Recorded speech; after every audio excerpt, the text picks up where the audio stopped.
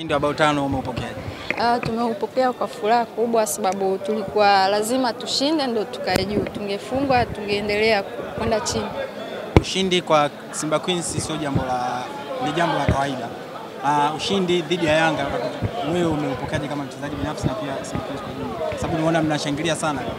Ya ushindi lazima iwe kama kwenye wanaume Simba na Yanga, si unajua ya na tumeshangilia sana sababu hii mechi lazima tushinde, ilikuwa lazima tushinde kwao, tumekaa juu, ndio maana tumefurahia zaidi. Katika stori yako ya uchezaji eh, sio mtu wa aina kupiga sana mashuti, labda unalizungumziaje na nini siri ya kupiga shuti? Ah, siri ya kupiga shuti ile, mwalimu wangu alikuwa akinisisitiza sana nipige shuti, ndio ikaja kama vile nikapiga.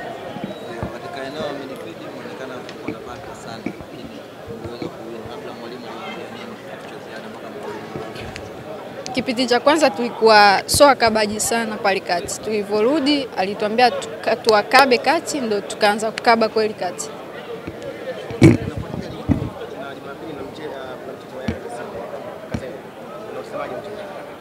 Uh, mchezo ni mgumu, ni mgumu sababu ni nusu fainali, ila naamini Simba tutashinda inshallah.